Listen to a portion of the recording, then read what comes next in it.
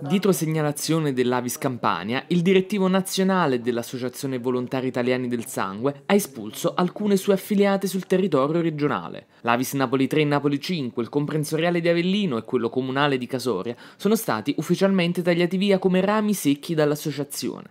Questo per motivi gravissimi. Ce ne hanno parlato Angelo Perrotta, il presidente regionale dell'Avis, e Teresa Modio, amministratrice regionale e consigliera nazionale dell'Associazione di Volontariato passato. L'obiettivo che eh, ci siamo posti adesso è fare chiarezza. Da questo momento in poi abbiamo passatemi il termine, mh, troncato i rami secchi, quindi è una fase non solo conclusiva di un processo ispettivo, ma è un, contestualmente è l'inizio di una nuova fase della regione, della regione Campania, dell'Avis nella regione Campania. Quattro realtà associative interdipendenti, collegate, interagenti che hanno squalificato il lavoro di Avis Campania e le motivazioni sono molto gravi, sono mancanza di rispetto dello statuto avicino ma anche comportamenti ai limiti limiti dell'illecito civile e penale, tant'è che Avis Nazionale ha avviato dei procedimenti giudiziari che avranno il loro corso. È preoccupante come questa espulsione abbia avuto delle ripercussioni sulle donazioni di sangue effettuate, ci ha confessato Leonardo De Rosa,